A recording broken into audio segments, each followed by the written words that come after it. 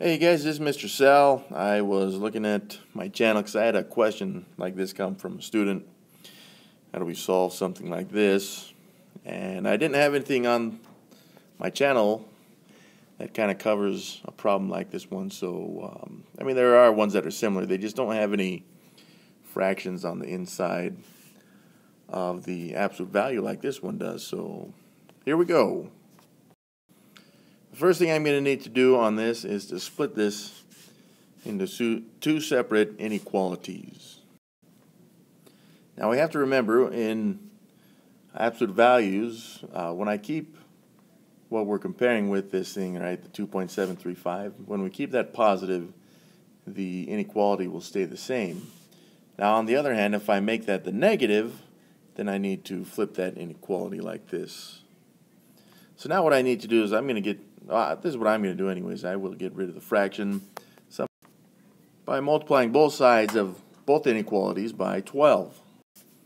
So what this does is it gets rid of the 12 denominators for both of these inequalities.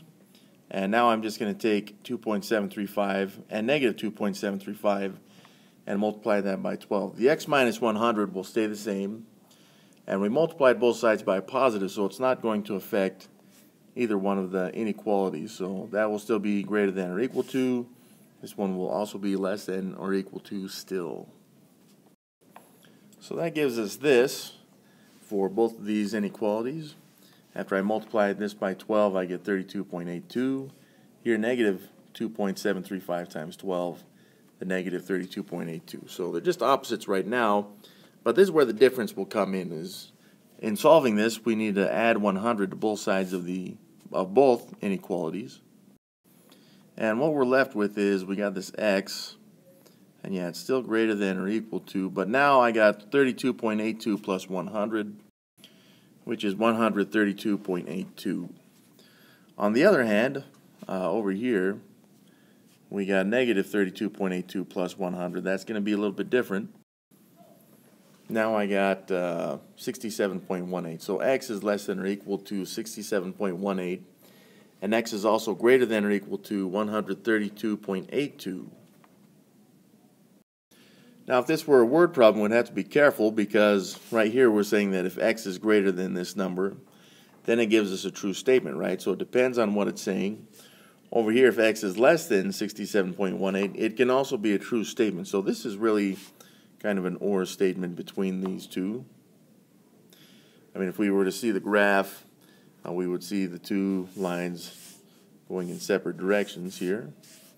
Right, you'd have one at 67.18, it would be a closed circle going to the left, and at 132 would have a closed circle going to the right.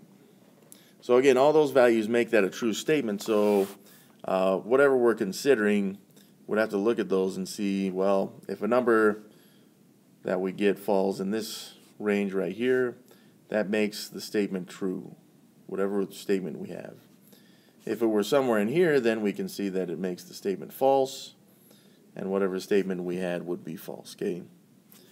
And the same thing over here, if it were in this range over here, that would still be some kind of true statement. So be aware and be careful when you do these because it's important to know the difference and how they may relate to some kind of word problem.